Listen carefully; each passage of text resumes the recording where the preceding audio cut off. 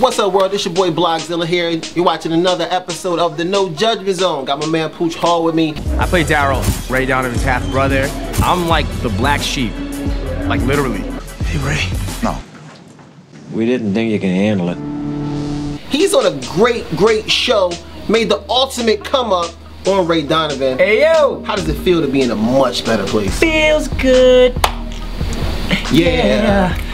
It feels good. I'm just saying. I'm just saying. No, it feels good. It feels good, Zilla. Uh, you know, it's almost kind of like um, being like a star, a star in um, college, and then I get drafted to the league. Like I feel like I got my Kobe Bryant swag. Like you know, when I got drafted to the Lakers, and you know, Van Exel was there, Shaq, uh, Rick Fox, Eddie Jones, and I'm just waiting. I'm waiting to just do to do damage. And um, you know, for the people out there uh, who aren't familiar, I'm on a new show called Ray Donovan, um, which is on Showtime. Comes on Sunday nights at uh, 10 p.m. Uh, we just got picked up for our second season. Oh. after three episodes, my dude. That's dope. That's dope. That's that's rare. We doing we doing some things over there at Showtime. So uh, you know, salute, and um, I'm happy to be a part of it, man. Um, I feel that uh, this is a big move from this, like you said, the, the, the come up because I want to be up there with Will and Robert Downey Jr. and Denzel and um, Jamie. So like working with these heavy hitters right here um, is definitely showing some you know some true grit and, and uh, that I can hold my own with these cats. What is it coming up that we should look forward to on this show? Like, what do you? Because I saw the car Oh, wow. scene, and so like, what is it? What is it? Because it's, it's sort of like Sopranos meets Scandal meets HBO's uh, 24/7. you know, I'm, I play a fighter on the show. I play Daryl Donovan, and uh, I'm Liev Schreiber, plays the title character Ray Donovan. I'm his half brother. Jon Voight's our father, plays. That's a uh, thing for black yeah, loves black women. Love the chocolate. Woo!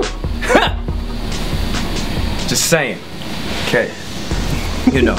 Uh, you know, so they, they have they have me and uh, and I play the half brother where out of the out of the three brothers, uh, two accept me. I'm training in the gym, but me and Lee have kind of bump heads, uh, Ray Ray Donovan, and um, I'm trying to find my way. I'm trying to uh, fit into this to this family. And what's interesting about it, bro, is is I'm a black kid trying to fit into a Irish slash like mob slash problematic family.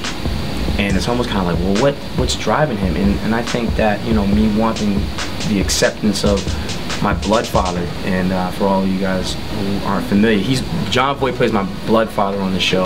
So it's just like you know, and and, and he loves me you know, and you're gonna see some stuff unfold throughout the series where it's just gonna be really, really interesting, and you're gonna see the relationship that he and I have, um, which is which is really cool. But I think each character can, uh, in my opinion, can have their own spin-off because this, yeah. story is so deep and just intricate.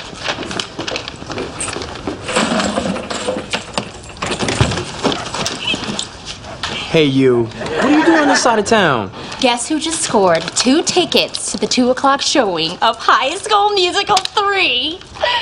I don't know, two gay guys? Come on, Derwin. You know I start rotations at the hospital next week, and this is my last chance to see it, so come on, come on. What is it like now when you get approached on the streets? Uh, what are people saying to you? They say, "I miss you on the game," or like, what are they saying to you now? Oh man, uh, what do you think they're saying? to me? They say that. They, I, I, I agree on that. What else do you think they say? They probably say it. Um, it's not the same without you. You're probably in a much better place. And All of that. can you have their baby, or will you give them a baby? Okay, let's stick to the game. Just know because when I tweet, "Hey, I'm interviewing," this is what the women are saying. They say, "Ooh, this is what they're saying." No, I mean, you know, I think I think all my fans, uh, especially the female ones, thank you guys. Um, you stop it.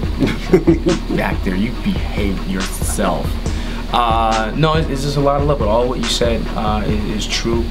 And, and and just for the record, I didn't get fired, and I didn't quit, and I didn't walk away from the game.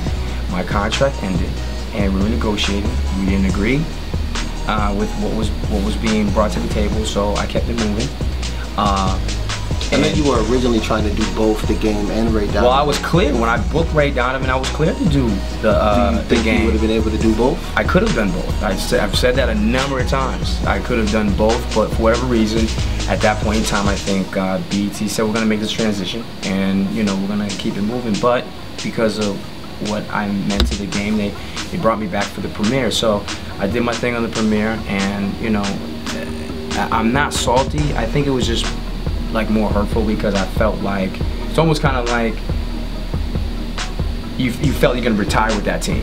You know what I mean? And Yeah. then you kind of get traded away in a sense, uh, but not really. Um, it, it just it just it was it was just like a, a fuzzy period in my life, but I think it was a blessing in disguise because of where I'm at. Um, because what's happening already with me is the people who I'm meeting from auditions to general meetings, all all, all heavyweights, big dogs who I, I didn't get that opportunity when I was on the game. So uh, it, it is graduating, going to a, a higher plateau, and, and I wish everyone the best over there, man. Like uh, I still got friends over there, like you know Kenny Smith was an amazing writer, Barry Floyd plays TT, and uh, Rick Fox. It's your boy Blogzilla, tell my man Pooch Hall. Go check it out. Hey yo, Ray, Ray Donovan. Showtime. How many times I gotta tell you, this is Pooch Hall. Okay, you do not call me while I'm doing no judgment zone on Global Grind. Okay? Bruckheimer. Okay? Yes. No judgment zone. Global Grind.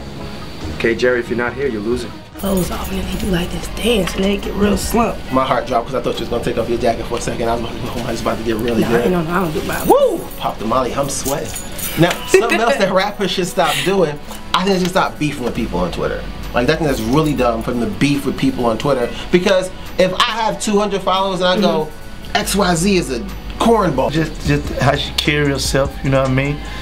When, when, when I say independent, not necessarily meaning about no money, just an independent mindset, the thought frame that you know, you know what you trying to do, you ain't- you know what I mean? I think a nigga could better you in some cases if if that's what he trying to do, you know. But if if not, you still got this shit under control on your own.